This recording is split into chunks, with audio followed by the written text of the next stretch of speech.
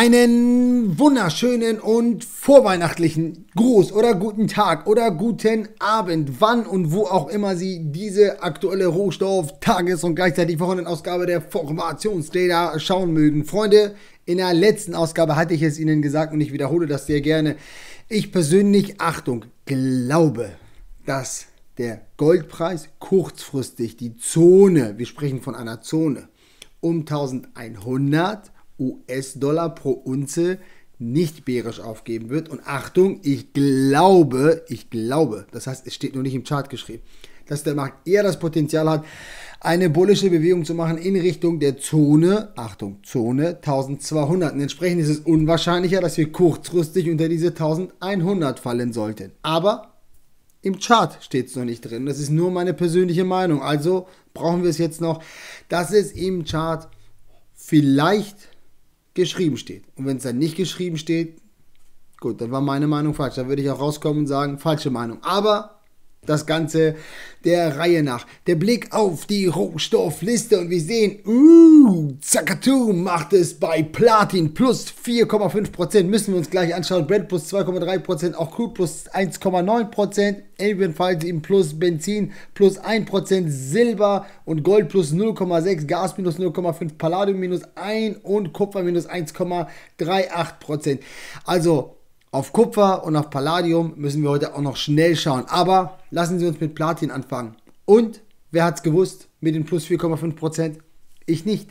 Aber die Absolventen unseres Mentorprogramms, die haben sich nämlich im Forum darüber unterhalten, Leute, um 900 ist eine sehr starke Unterstützungszone. Erst kam der erste und hat gesagt, Leute, achtet mal auf die 900. Und dann kam der zweite, hat noch einen Chart dazu gepackt, nämlich, also hier horizontale ehemalige Widerstandszone, jetzt Unterstützung, diese Zone hier Unterstützung, fällt durch, ist Widerstand, zieht komplett nach oben ab, führt dazu, dass der Markt in der Spitze um 30% steigt. es ist selten, dass dann eine solche Zone sofort bricht. Dann haben wir noch die Nackenlinie dieser kleinen inversen Schulter-Kopf-Schulterformation, mit der die immer noch gekämpft wird. Und warten Sie, ich packe noch einen drauf. Und all das von unseren Mentorschülern für unsere Mentorschüler. Also das ist jetzt ganz langsam eine kleine, keine hyperaktive Community, die sich auch gegenseitig unterstützt und auch zeigt, was sie gegenseitig im Chart sehen. Hier, kurzfristige Linie, Unterstützung, Unterstützung, Unterstützung, Unterstützung, nochmals Unterstützung. Hier auch die horizontale Linie zu sehen, wunderbar. Und jetzt kommt diese wunderbare bullische Bewegung.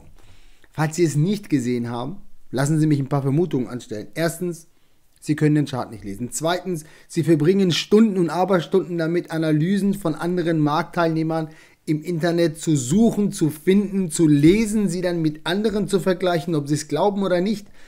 Allein in den letzten fünf Tagen habe ich, ich will nicht übertreiben, irgendwas zwischen acht und zehn E-Mails bekommen von Marktteilnehmern, die mir Analysen von anderen Marktteilnehmern schicken und mich fragen, was hältst du eigentlich von der Analyse des anderen? Also die doppelte Sicherheit. Freunde, das ist nicht hilfreich. Das ist nicht zielführend.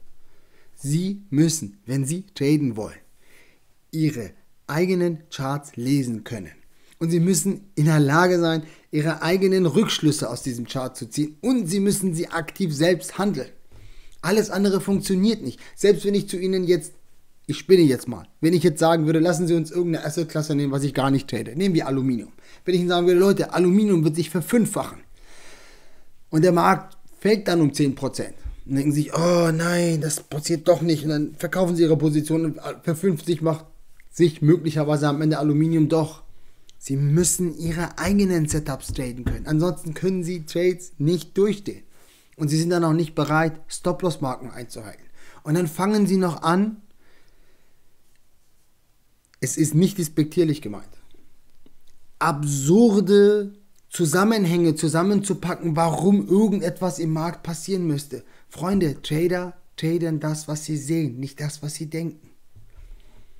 Bleiben wir doch mal kurz bei Platin. Meinen Sie, Sie haben es jetzt verpasst wegen dieser 4% Bewegung? Was meinen Sie denn, wenn ich Ihnen sage, ja, nee, wissen Sie, es gibt noch das prozyklische Einstiegssignal. Hier ist ein bullischer Keil und eine horizontale Zone. Schauen Sie. Hier ist es Widerstand, dann geht er durch, dann kämpft er wieder damit, jetzt kämpft er wieder damit. Also, Keil plus möglicher Doppelboden. Sie wissen, doppelt hält besser bei der Trendumkehr, mag ich ja persönlich sehr gerne. Das heißt, für den Fall, dass der Markt die 955 bullisch auflösen sollte, dann hätten wir eine doppelte bullische Trendumkehr und dann wäre das Ziel im Bereich von 1000 bis 1200. Sehen Sie? Nächste Trading-Möglichkeit. Und wie traden wir diese mögliche Trading-Möglichkeit? Erst wenn sie bullisch aufgelöst worden ist. Kann ja auch sein, dass der Markt hier durchfällt. Dann finde ich es auf der bärischen Seite schwierig, weil dann ist eine Unterstützung 860 und das ist schon eine fette Unterstützung. Und die nächste ist dann im Bereich von 830. Der langen Rede kurzer Sinn. Ich wünsche Ihnen, dass Sie ein erfolgreiches Trading-Jahr gerade hinter sich bringen. Wenn Sie das nicht tun, dann liegt es nicht am Markt, dann liegt es nicht an den Banken, dann liegt es nicht an den Manipulationen, dann liegt es nicht daran, dass kein Trend da ist, dann liegt es nur an Sie selbst. Und Sie sind die einzige Person, die etwas daran ändern kann, dass es im nächsten Jahr besser wird.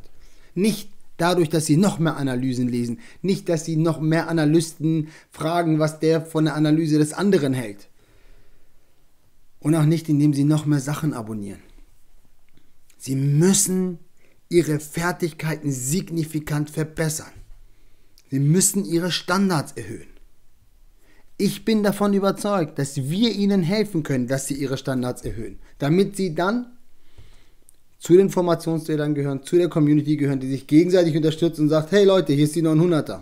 Und man auch selber lesen kann, ah ja, stimmt. Und on top, dass sie selber in der Lage sind, den Chart zu lesen, selber ihn analysieren können und selber das traden wollen können. Ist das das, was sie wollen? Wenn es das ist, was sie wollen, Schreiben Sie mir. Schreiben Sie mir einfach eine E-Mail und sagen Sie, ja, ich will. Was kannst du eigentlich für mich tun? Dann können Sie entscheiden, ob ich für Sie hilfreich sein kann oder nicht. Mit unserem Mentorprogramm. Nächster Chart. Palladium. Vielleicht erinnern Sie sich daran, bei Palladium, da hatten wir gesagt, Mensch Leute, toll, eine wichtige horizontale Zone ist zwar bullisch aufgelöst worden, aber der Markt macht folgendes. Der rennt und rennt und rennt und rennt und rennt und rennt und rennt und rennt. Und die Bullen sind müde. Die Bullen sind in der Nähe der 800-Dollar-Marke. Das ist auch eine runde Marke. Plus, ja, wir haben eine Zone aus dem Weg geräumt, aber wir sind hier direkt an der nächsten. Hier. Unterstützung, Unterstützung, weggebrochen, Widerstand. Hätten die sich hier mal ein bisschen mehr Zeit gelassen. Und gesagt, okay, wir haben frische Bullen, die jetzt durchgehen wollen. Jetzt hatten wir müde Bullen, die sofort in den Widerstand gelaufen sind. Deswegen hatte ich noch gesagt, falls der Markt, ich weiß nicht, ob Sie diese Ausgabe geschaut haben, ich wünsche es Ihnen. Falls der Markt hier in Richtung 700 kommt, ja, kurzfristige, verzeihen Sie bitte, 730 kommt, ja, kurzfristiger Bounce. Mich persönlich würde eher es interessieren, dass der Markt in Richtung 700 Dollar läuft. Dass er also einen richtig schönen Pullback macht. Jetzt macht er das. Jetzt warten wir mal ab, ob der Markt mit der 700 Dollar Marke, mit der 20 Wochen Linie das Potenzial hat, hier eine Trendumkehr zu bilden, ja oder nein. Dann hatten wir miteinander über Kupfer gesprochen und vielleicht erinnert sich daran, Kupfer lief. Da hatte ich Ihnen schon gesagt, Leute, ich würde hier nicht mehr long gehen. Der Markt ist extrem überkauft. Haben wir nochmal einen Spike nach oben gemacht, schauen sich das Volumen an. Kam nochmal zurück und wir haben miteinander darüber gesprochen, ja, kurzfristig ist es bullish, das, was der hier macht. Und der hat das Potenzial, entweder hier in Richtung 2,6 oder Jahreshoch 2,7 zu laufen. Darüber wird er wahrscheinlich nicht kommen. Nicht nur, weil es einen Spike gegeben hat, sondern weil wir auch über die Woche hier die 200-Wochen-Linie haben. Zwei Gründe, warum der Markt dort nicht weiterkommen sollte. Unwahrscheinlich, dass der Markt in sich dann zusammenbricht, aber weitergehen auch unwahrscheinlich. Und deswegen haben wir gesagt, müssen wir gucken, was der Markt uns für eine Konsolidierung hier gibt. Die fängt gerade an, die ist gerade in vollem Gange. Die ist noch längst nicht zu Ende. Wenn ein Markt, wenn ein Rohstoff Schauen Sie, Ranges hat von 17% und 8% und 6% und erinnern sich, wenn gesagt, wenn der Ausbruch aus dem Dreieck kommt, dann wird es dynamisch sein. Der muss aber nicht lange anhalten. Und dann auf einmal 30% Bewegung macht. Dann braucht er in der Regel Zeit, um diese 30% zu verdauen. Okay, lassen wir doch Kupfer in Ruhe, das verdauen. Und dann schauen wir, ob sich das nochmal eine Möglichkeit für einen Einstieg hier geben kann. Auf der einen oder anderen Seite. Gold hat sich ja nicht viel geändert im Vergleich zur letzten Ausgabe. Der Markt macht ein höheres Tief, macht ein tieferes Hoch. Wir haben die KD-Linie immer noch umeinander geschlungen. Das ist schwach. Wenn wir uns den Wochenchart anschauen, auch das sieht nach wie vor schwach aus. Wir haben jetzt eins, zwei, drei, vier, fünf, sechs Wochen in Folge tiefere Hochs und tiefere Tiefs. Mittlerweile auch hier.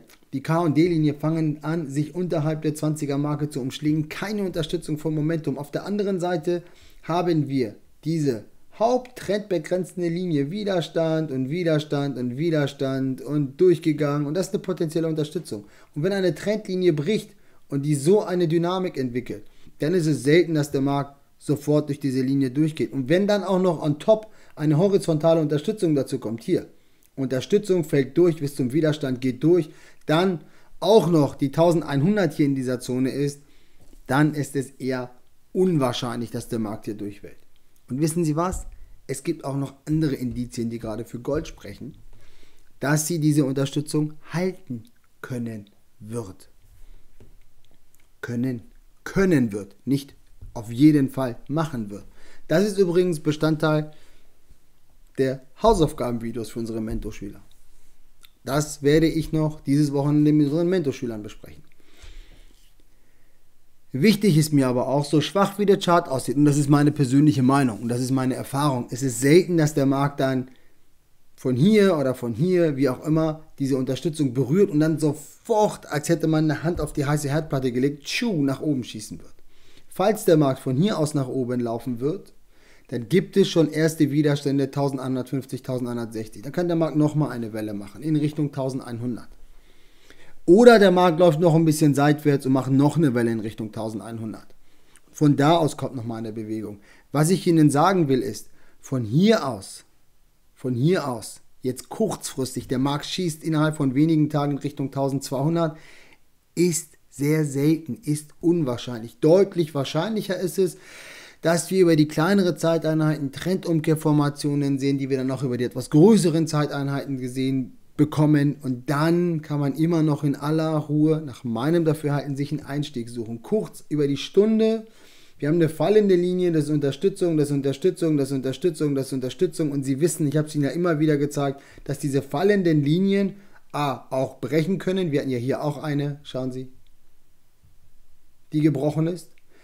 Und zum anderen ist es so, dass der Markt, selbst wenn er sie nicht bricht, dann auf der richtigen Seite der Linie immer noch weiter nach unten laufen kann. Deswegen ja, es gibt eine potenzielle Unterstützung, aber es reicht noch nicht, um auch nur im entferntesten von einer Trendumkehr zu sprechen. Im Gegenteil, der Markt fiel, konsolidierte bärisch. Erinnern Sie sich, wir hatten gesagt 1160 ist auch eine wichtige Unterstützung, sowohl über die Woche als auch vom 61,8% Retracement. Wichtige Unterstützung, schwacher Chart. Konsolidiert und fällt durch. So, die Bewegung hat gerade angefangen. Und deswegen von einer Trendumkehr kann ich hier gerade noch nicht sprechen. Ich kann Ihnen nur noch mal sagen, da scheint eine schöne Unterstützung zu sein. Was jetzt der Markt mit dieser Unterstützung macht, das werden wir innerhalb der nächsten Tage, möglicherweise Wochen erfahren. Wenn wir uns Silber anschauen, ähnlicher Schnack. Wichtige horizontale Unterstützungszone, sowohl über den Tag, die wir aber auch über die Woche abbilden können. Das ist genau die gleiche Linie, Zone, die wir sehen können. Plus, wir haben diese fallende Linie und Sie sehen, wenn der Markt seitwärts läuft, dann kann er wieder Abstand schaffen zwischen sich und der fallenden Linie. Jetzt ist die mittlerweile schon bei 15,50. Ebenfalls eine potenzielle Unterstützung. Was ich mir gar nicht angeguckt habe, Lassen Sie uns das zusammenschauen. Was ist mit dem Volumen, was wir hier sehen? Also wenig Volumen, also kein Käuferinteresse, hier mehr Volumen im Pfeilen. Ich sehe hier noch nicht Volumen, was jetzt eher dafür spricht, dass äh, der Institutionelle möglicherweise hier kauft. Spricht nicht unbedingt gerade das, was wir sehen für die Bullen. Wir sehen aber auf jeden Fall diese potenzielle Unterstützung. In Ordnung. Freunde, ich weiß nicht, wie sehr es bei Ihnen weihnachtet. Ich kann Ihnen sagen, und ich hoffe, das langweilt Sie nicht, aber es freut mich so sehr. Ich habe alle meine Weihnachtsgeschenke zusammen und ich habe alle Weihnachtskarten nicht nur geschrieben, nicht nur alle Pakete fertig gemacht, sondern ich habe sie auch schon alle verschickt. Also von mir aus kann es schon so richtig los Weihnachten. Das war ein großartiges Jahr. Und deswegen werde ich ab der kommenden Woche, das heißt Dienstag gibt es ja die nächste Ausgabe, das wäre dann der 20. Dezember, werde ich das so machen, dass ich nur noch eine Videoausgabe am Tag rausbringen werde. Und dann schauen wir zusammen auf DAX und Dow und Gold und Silber und wie auch immer, damit ich dann nochmal die allerletzten Vorbereitungen mache, als wenn sie sagen, was will er denn noch andere Vorbereitungen machen. Wir haben richtig viele Gäste. Es wird hoffentlich bleiben alle gesund und es wird eine tolle Feier. Und deswegen ab Montag nur noch eine Ausgabe pro Tag bis zu den Feiertagen und dann zwischen den Feiertagen bis zum neuen Jahr werde ich mich verabschieden. Ich glaube, wir haben da genug getradet, aber das können wir nochmal in aller Ruhe und gesondert miteinander besprechen. Ich hoffe und wünsche mir, dass diese Ausgabe für Sie hilfreich gewesen ist. Wenn das der Fall war, abonnieren Sie gerne unsere Ausgaben, empfehlen Sie mich gerne, würden Sie mir eine große Freude machen. Und Sie wissen, ich wünsche Ihnen immer und immer wieder vom Herzen, dass Sie hoffentlich alle, alle, alle gesund bleiben. Heute würde ich mich freuen, wenn Sie es mir auch wünschen würden, dass nicht nur ich, sondern auch meine Familie und die Familie meiner Partnerin, die kommt von überall zu uns, dass die alle gesund bleiben, dass wir ein schönes, Feier, äh, schönes Weihnachtsfest feiern können und feiern werden. Mehr habe ich nicht, nur noch meinen Namen für Sie. Mein Name ist Hamid Nashari und wenn Sie mögen, bleiben Sie uns Informationstäter doch bitte gewogen. Klicken Sie auf das Feld rechts unten und erhalten Sie auf unserer Homepage weitere Informationen zu unserem sechsmonatigen Mentorprogramm oder klicken Sie auf das Feld links oben, abonnieren Sie unseren Kanal für tägliche charttechnische Analysen mit edukativem Charakter zu den Rohstoffmärkten